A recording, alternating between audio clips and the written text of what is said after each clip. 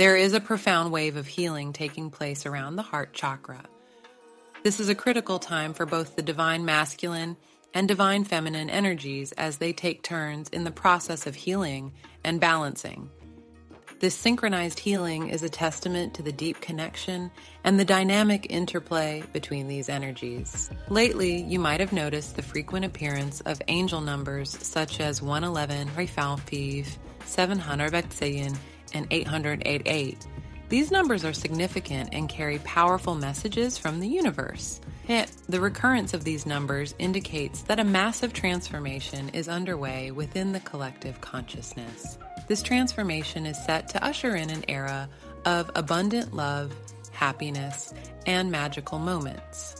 As these energies shift and align, they will enhance your personal life and the connections you share with others. For many, the journey towards manifesting a physical union with their twin flame is becoming a tangible reality.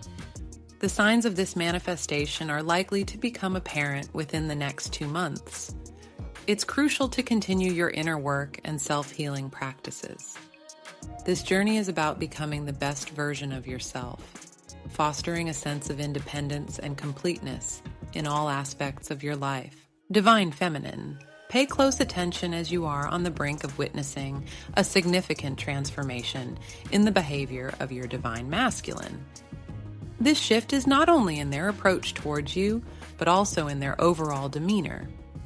The divine masculine is deeply engaged in their own healing and self reflection processes, paving the way for a more harmonious and balanced relationship.